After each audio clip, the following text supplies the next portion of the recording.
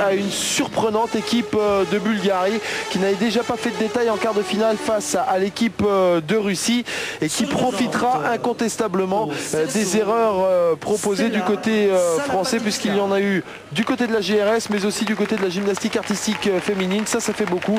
Ça fait beaucoup trop notamment pour euh, espérer euh, dominer les Bulgares qui se présentent euh, d'entrée avec la GRS, un joker bien évidemment, et avec Stella Zalapativska. Et là on va retrouver tout le style de cette école bulgare qui a été emmenée dernièrement notamment par la superbe Maria Petrova. Maria Petrova qui a décidé de prendre sa retraite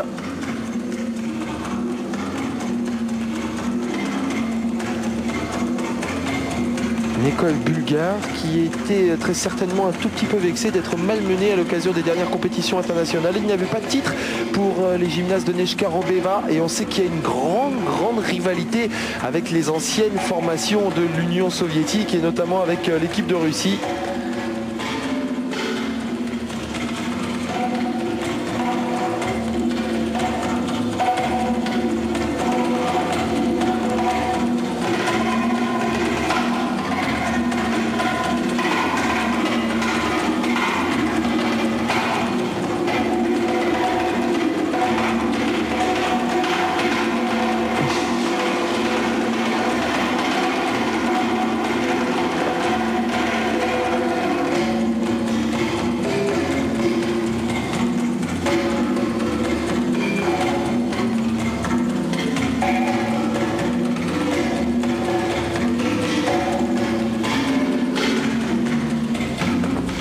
Triple pirouette pour euh, Stella Zalapativska pour terminer ce programme.